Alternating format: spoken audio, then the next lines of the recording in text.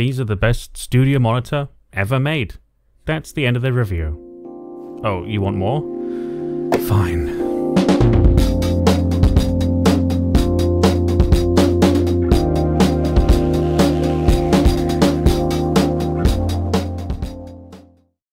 When it comes to closed back studio monitor headphones, there's only a small handful of industry classics that have stood the test of time. Sony MDR CD900 ST, the Sony MDR 7506, and the Beyerdynamic DT770. Name another one. I bet you can't. Everything else has either come and gone, or is too new or young to have proven itself yet. So, how could the Victor HA-MX100Z possibly be the best? First of all, there's no mistaking that it takes its design cues from Sony. Here's an MDR V7 for reference. It's fundamentally identical to the CD900ST and 7506. We can see that they both have oval ear cups, flat ear pads, round metal rear housing, and a very simple headband. The headband is where we see the first obvious difference. Unlike Sony's vinyl headband, JVC uses a padded pleather, which is of a lower quality. Actually, when I say JVC, I really mean Victor. This particular headphone was not developed by JVC as we know it, but rather the Victor studio owned by JVC, or rather JVC Kenwood Victor Entertainment Corporation. It's confusing even for the Japanese, so don't worry about it. Their goal was to create a studio monitor headphone that they could use themselves in their own studio. This tells me one thing. Nothing else was good enough for them, so they had to just go and make their own one themselves. So this headband, uh, however, it's the only major thing holding the headphone back, in my opinion. After hour or so, I start to get a small hotspot right at the top of the headband where it doesn't actually appear to have any significant padding at all. Obviously such a problem can be easily remedied with aftermarket solutions, but that's not really the point of a review, and I have to remain critical. The only other point where I know there will be some mixed feelings is the cable. It is extremely robust and dense. Obviously there is some memory in such a cable, but it also seems Victor Studio was not messing around when they made this decision. They wanted something that is of the utmost quality. This goes all the way down to their choice of plug, which is an Amphenol. While it doesn't appear to be anything particularly special about Amphenol plugs, the design of the plug grip is very good. So it's likely the audio engineers knew what their favorite plug was and simply requested it. The pads are fundamentally the same cheap wrinkled pleather type which has been around for decades on Sony's studio monitors, so take that however you like. They won't last forever, but they're easy to replace. If you don't like it, try listening to the headphones first and you'll see why these types of earpads are used. Sony's goal with developing the original MDR CD900 was to create a headphone with extremely good microphone localization so they could hear the distance of the singer from the microphone. Sony, in my opinion, achieved their goal. Victor Studio had a bit of a different goal in mind as they wanted to create a sound that had similar localization to the large studio monitors that they were using. So the position of the singer is a bit more distant, like sitting further back from a set of speakers. More on that later. Now comes the interesting part. Let's crack this open and have a look inside. First of all, removing the earpads is a very simple matter. HiFiMAN, I hope you're taking notes. And we're presented with a very familiar scene.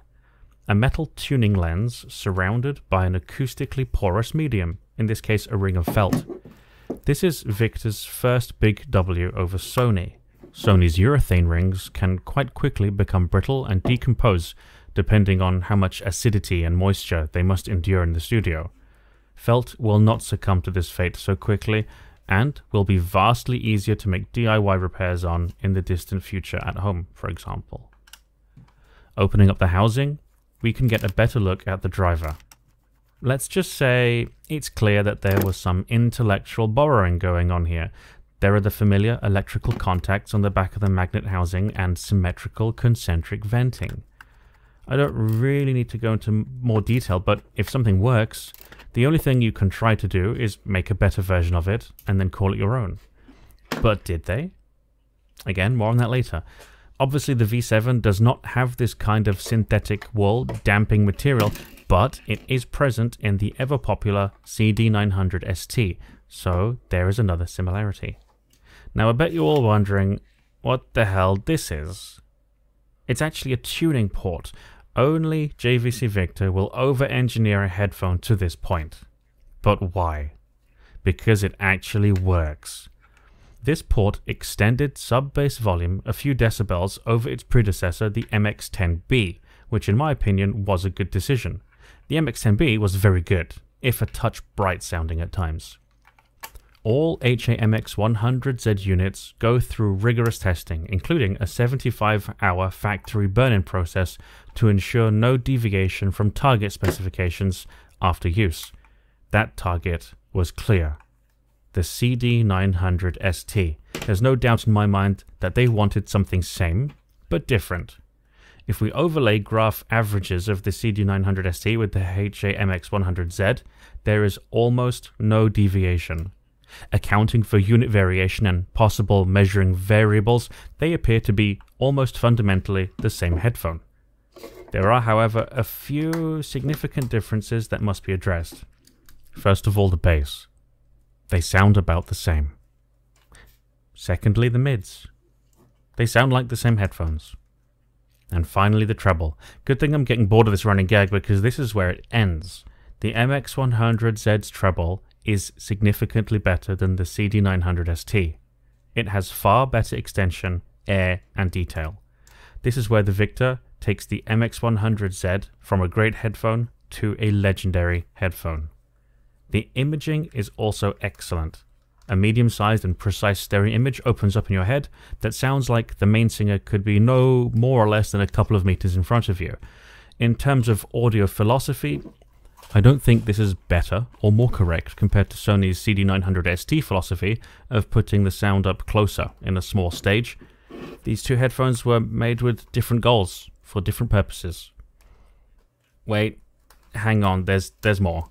What if I told you these were also the best sounding small form factor wired closed back headphones ever made? I mean, if you can forgive the extra long wire or have the DIY chops to modify it, they could even be the best sounding portable headphone. Let's go back to the graph. Here's an overlay of the HAMX100Z with MDRZ1000 pads.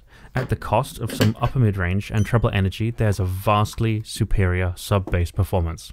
This is a combination I was happily using for years, but recently, a new earpad has been found.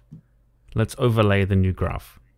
The same awesome bass response, upper mid-range is mostly preserved and treble extension is also improved. This graph was made using Edifier W820BT pads. So for outdoor portable use, I haven't heard anything that sounds this good. According to online sources, the newer HAMX 100V has less bass and a more pronounced mid-range, so I will stick with this for now. Take it easy and I'll see you in the next one.